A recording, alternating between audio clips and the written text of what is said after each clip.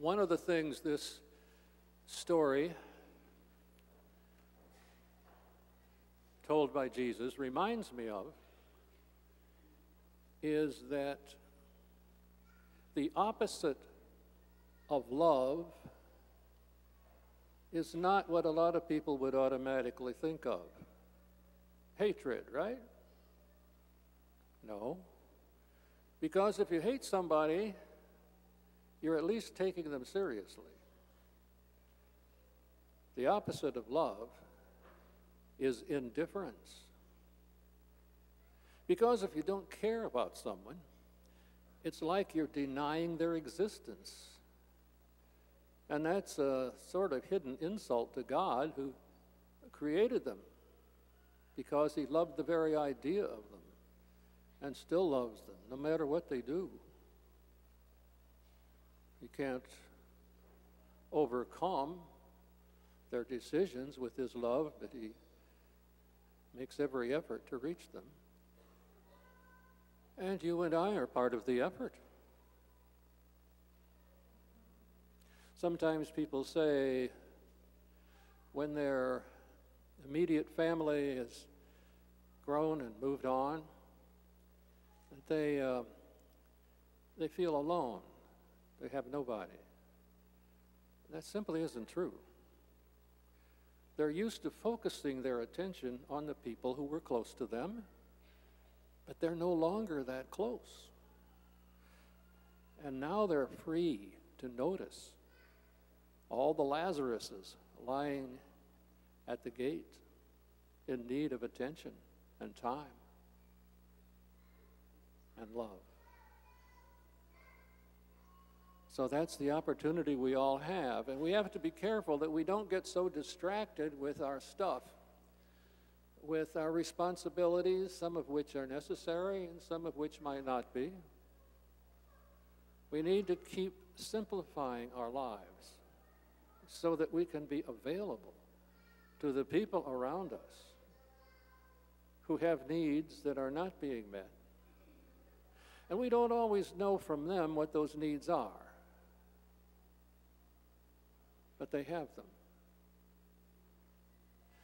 I know of a Methodist parish that at one time, I don't know if they're still doing it, but they had a special service as one of their Sunday services for people who were religiously illiterate. Now, that isn't, I'm sure, how they advertised it, but uh, they found out a lot. They found out that there were a lot of those people out there. They found out that they couldn't use sacred words and phrases from the Bible that were very familiar to most Christians, but weren't to these people, even though most of them had Christian backgrounds. They found out that there were some people who, uh, who thought Jesus was some kind of an important person in history, and he probably was assassinated around the time of uh, Benjamin Franklin with uh, a rifle shot or something like that. That's all they knew about him. There even was one of our parishioners who uh, dropped into a religious goods store in Rome, of all places, the holy city, the eternal city. I guess we don't call it holy because it really isn't. But, uh, and uh, this person saw a cross that appealed to them and they wanted to buy it. And so the man behind the counter said, Now, do you want a plain cross or one with the little man on it? He did not have a clue. And there he was in the eternal city. Well, his, his bishop, Francis, is working on that sort of thing, but uh, it's going to take a while. And the clergy can't do it all. We can't do half of it. Where you are in people's lives is not an accident. You were placed there by God, one way or another. Sometimes by good choices you made, sometimes by not so good choices. But God uses those to put us where we can do some good. That Methodist parish also found out they had to print out the Lord's Prayer because nobody in that particular congregation knew it at all. And now, people aren't going to give themselves away. They're not going to raise their hand and say, I'm religiously illiterate. They're just going to clam up and try to pretend they can fit in. And, but they're lost, and they need to be found.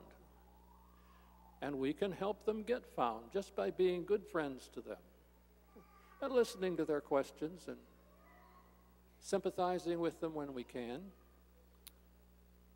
and doing the human things that God can use to make life meaningful for all of us, including ourselves as the evangelizers. We, uh, we get a, a real shot in the arm whenever we're able to help someone like that. But you don't always know you're helping them. Sometimes it's like seed planted deep in the soil.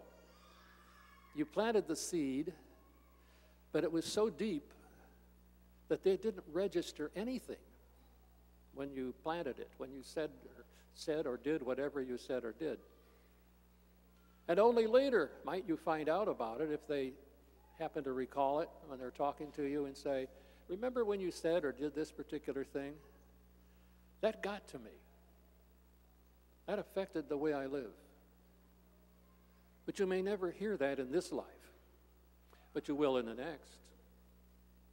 Also, we'll be aware of the times we were like the rich man. Isn't it interesting? The rich man isn't given a name by Jesus. The poor man is Lazarus. And in a way, maybe Jesus is leaving the, the name of the rich man blank so that we can insert our own. I mean, he wasn't a criminal. He, we're not told that he did anything horrible. That's what he didn't do. Every day he would pass through that gate and see Lazarus. And he adjusted to it. That's just Lazarus. He's poor. That's tough. The thought that he could do something about it may not even have occurred to him. But he kept making that decision to go back, go, go forward, and never reflect on what was there to be done. And so we have to be that way. We have to, we have to uh, be reflective. We have to be alert and notice. Now, Jesus was talking to the Pharisees. Now, the Pharisees, of course, have a very bad press in the New Testament because we only hear about the, the ones that gave Jesus a rough time. And uh, there were some good ones. So he's trying to reach out to the good ones and encourage them, instruct them a little bit, and uh, maybe, maybe just give the other one something to think about. But he had to say what he said. And he had to challenge us that our love isn't so much something we feel, it's something we do. It's something we say without saying words with love in them, but just by treating people the way He wants them treated. Because everybody who exists was a deliberate choice by God. He created them because He loved the very idea of them so much. A lot of others didn't get created. As I like to say, that makes us all feel pretty good, kind of important, you know, because here we are. And some people aren't. Never were created, never brought into existence. But everybody who is is important, important to God. Even the ones that drive us up the wall. So that's what love is all about. It's work, it requires alertness and deliberate thought. And if we incorporate it into our prayer and keep asking God in different ways to deepen our insight into the needs of the people around us. We won't always come up with brilliant, highly refined answers. We don't need to. We'll be there for them. And that will be a message in its own right. So let's renew our efforts. There's nothing wrong with enjoying what you have in life, but it shouldn't own you. We do need to keep simplifying our lives, most of us, because things kind of get in our way. And that keeps us from fulfilling our mission and being part of the happiness of others and intensifying our own happiness without realizing it at, at, the time. So that we become instruments of the peace and love of God in the lives of everyone around us.